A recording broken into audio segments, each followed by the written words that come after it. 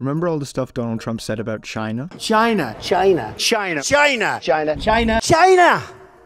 Much of Donald Trump's global economic policy revolved around combating US's economic dependency on China. The relationship between China and the United States has been marked by complexity and mutual distrust since the 1950s, but that hasn't stopped the two nations maintaining close economic ties, which since the 1980s have grown to be more intertwined than anyone could have predicted. Donald Trump's approach to China was a rollercoaster ride. He took an unconventional approach to economic diplomacy, slapping tariffs on Chinese goods while publicly broadcasting his tough on China stance. Things Things got tense when China retaliated with tariffs of their own. However, after much back and forth, the two countries reached a partial trade agreement in 2020, which Trump hailed as an unprecedented success story as the deal ensured China would purchase an extra $200 billion of US exports before the next year. Only problem? China didn't. Reminding us all, only thing more complicated than economics? Politics.